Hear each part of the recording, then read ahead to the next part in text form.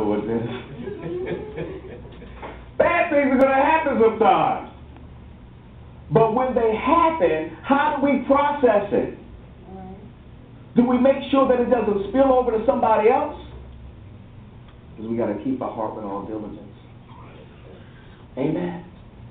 Keep your heart. He said, because out of it flows the issues of life. And how many can look at yourself and say, I got some issues? Every hand in this place should go up. Amen.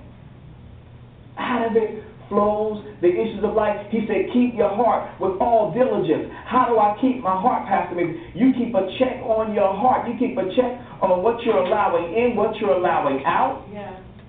Yeah. You keep a check on what you're processing, Yeah. what's being dealt with, because there's some things that really have to be dealt with. There's some stuff you can't just leave laying. Talk about it. Amen? Amen. That's right. Talk about it. Some anger issues. We can't leave those things laying dormant. Yeah. Oh, it ain't bothering nobody, Brother Tim. it's just my anger, that's all. But it, it, as long as nobody stir it up, I won't punch no holes in no walls, and I won't kick no doors down. As long as you don't mess with me, the anger's going to sit there, and uh, that's good. I'll pull it out just in case I need to, in case you put, in case you pluck my nerves. No, that's an issue that needs to be dealt with. That's something that needs to be dissected and sit there and say, okay, what am I angry about? How can I get rid of this? Now, don't get me wrong. The Bible says, be angry and sin not. But there is an anger that causes sin. Yes. It's rage. Dealing with rage? Did you punch a hole in the wall when a person told you not to do something? That's rage. It's rage. Huh? I just got it. It's rage. And sometimes rage will sit there quietly, as long as nobody don't, don't, don't stir it up. Don't mess, with my, don't mess with my rage, I won't mess with yours. Amen. We good, I'm the nicest person. Till you don't do what I say do. Now we got a problem. But it needs to be dealt with. Amen. It needs to be dissected, and you need to pull it apart and say, okay, why am I angry? What's going on here? How can I get rid of this thing so that it's not sitting there like a powder keg to blow up at any minute? Amen. He said, guard your heart with all diligence, for out of it is flowing the issues of life. Hallelujah. I have to keep a check on my heart. I got to keep a check on what's coming in, what's going out, how am I processing things. Amen. Hallelujah. Because, see, in the heart, when something gets in the heart, it's there. It's there. Amen. You know, when you get, get something in your heart, when, when your heart is made up and your, your mind is made up, and it's like, okay, this is what I'm going to do. They could, a hundred people could tell you no. If it's in your heart, you're still going to do it. Mm. Amen? See how powerful the heart is? See why he says to, to guard our heart and keep our heart with all diligence, for out of it flows the issues of life? Because he knows that what's in us is in us. Amen. Hallelujah. He says to guard it. We got to guard it. Does that mean that I block people out lock and shut stuff down and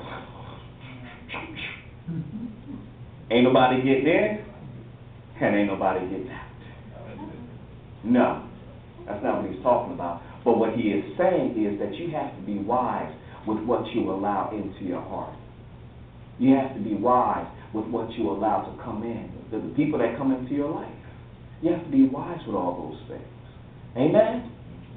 Praise the Lord. Now, I'm not shutting this down and locking this up and pull, pulling this down and. shh. Amen? Anybody ever been like that before? Like I'm locking everything up. I don't want to know you, and I don't want you to know me. So we, I'm going to give you the automated response.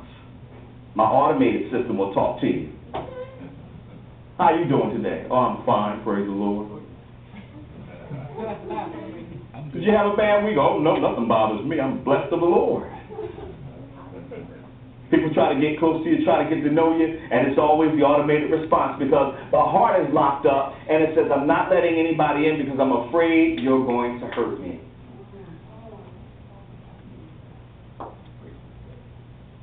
And what if God sends somebody in your life that is going to be an impact to your life?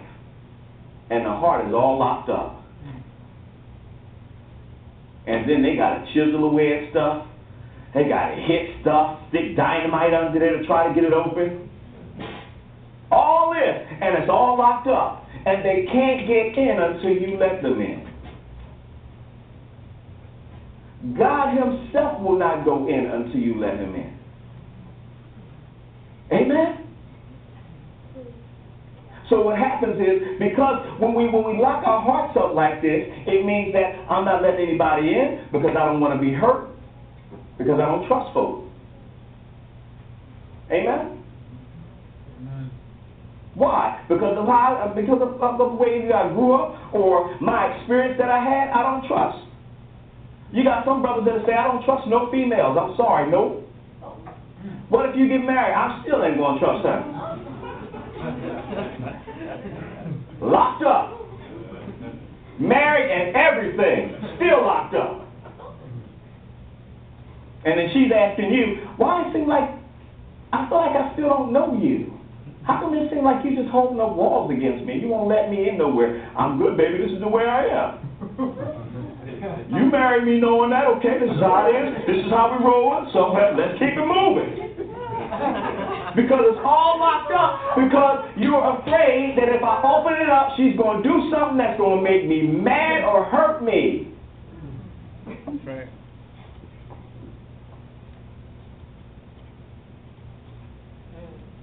And all the sisters said, Amen.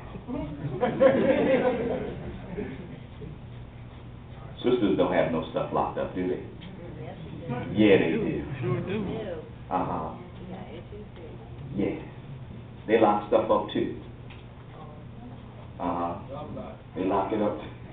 So answer, I want to hear it. Let's talk about it. Let's get them back. Amen. But the, the interesting thing is, see, women lock things up differently than men. Men lock stuff up and they know, and, and, and the women know that it's locked up. Women will lock stuff up and you will think she is so in love with you. And you won't know she got a lock on. Amen. Amen.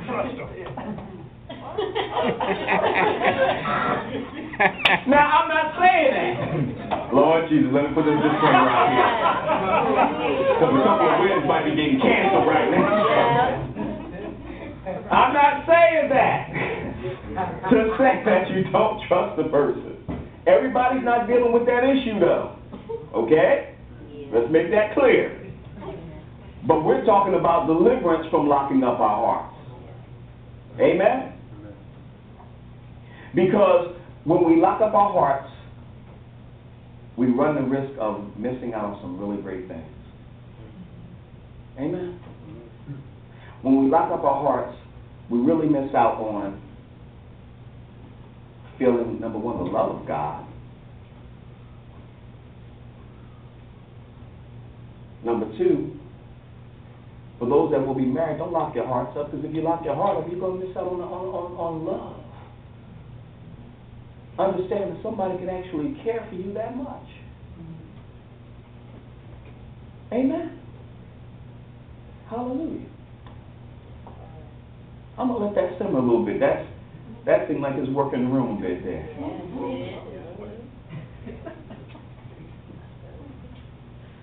Because let me tell you something. When you stand up before God and you're getting ready to make a vow one to another, then that means that you're saying, I'm, I'm getting ready to open up everything to you. Look, almost like that's a serious, Pastor Man. I don't know if I can do that. Amen. That says that I'm making a covenant with you that says that we're now going to become one. Amen? We got a carpet in here, but you can still hear a pin drop, I bet you. But the interesting thing is, he says here, to guard your heart with all diligence. And he doesn't mean lock it up. He means that we're careful about what we let into our heart that will affect us in a negative way. Amen.